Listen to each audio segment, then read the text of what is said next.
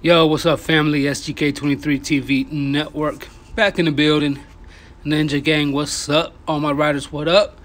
Got a little unboxings. I figure I just get through it, but before I start, I just wanted to say peace and blessings to everybody, and let's go.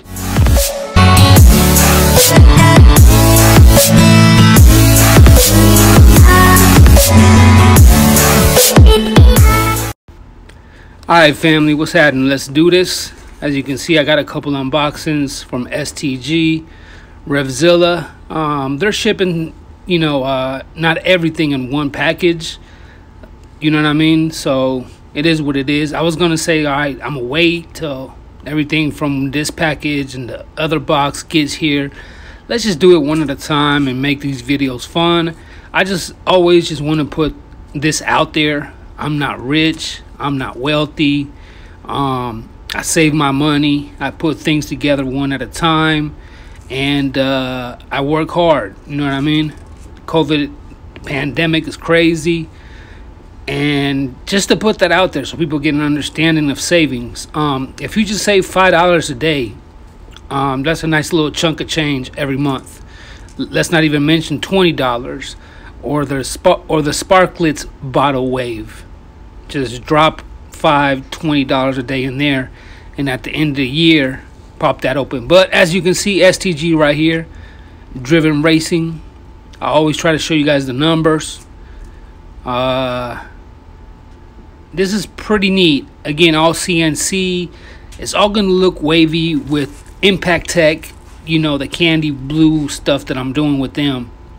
So this is just the oil fuel cap, but it's pretty dope as you can see, little things go a long way.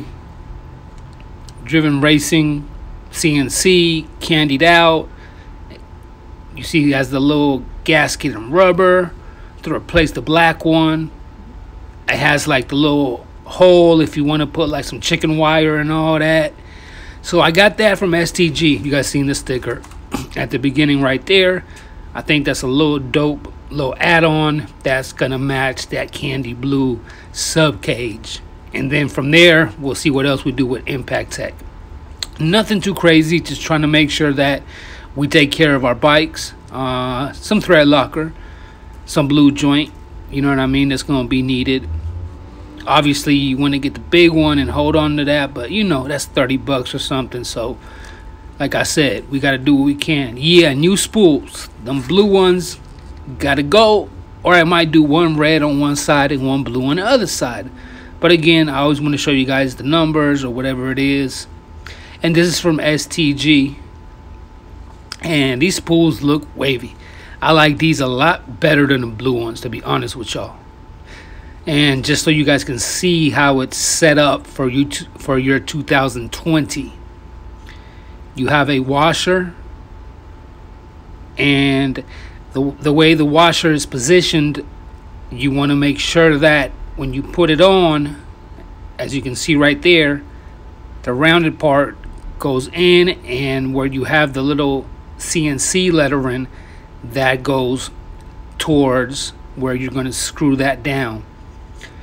Obviously, I like to use thread locker not only on the end of the screw but throughout the spool and then position that right. Now with the rear stand, I can really position that driven racing properly. And these are pretty awesome. Outside of the chain adjuster with the big puck that's blue. So we're on point right there on the back. What else? Uh, maintenance. There it is, STG. I might buy some fairings off a van from from uh, sports uh. So uh, that's that, and we got some all-purpose grease, which is needed for everything, especially uh, for my levers. I needed that, and a couple of other ones to add to the collection as far as to maintain the bike, and I still need some more stuff there is the all-purpose grease, waterproof. This is what I recommend. Again, I try to show you guys, you know, the numbers and the parts and things of that nature. So again, I cut out on you know dinners and eating out, and you know uh, I smoke Black and Milds, which I'm quitting. You know that's eight dollars a day. You know what I mean? Chop that up in a month. Speed wax. You guys can read it for yourself, along with the MPPL and the chain wax and uh, the chain lubricant, uh, the SC1 uh, right here, high gloss coating. I still need a few more. You know what I mean? The most expensive stuff is going to be when I do the sprockets, the chain, the brake lines, not really the spacers. That's about 80 bucks. The engine work that's being done right now, obviously, and fairings and all that stuff. That's going to be where, you know, it's going to hit me. And rear sets. I got to do the rear sets. The way it's set up, the 400 doesn't work. The seats as well. Um, I might do the ergo seat and get that seat done so it's an inch higher. And obviously the suspension. I need that's another 600. That's where it's going to hit hard and we're going to need savings. And that suspension bump that up 1 inch higher on the seat. Uh, clip-ons obviously to raise the bars maybe 3 quarter inches and here we got Revzilla, one out of seven items. Another grip set.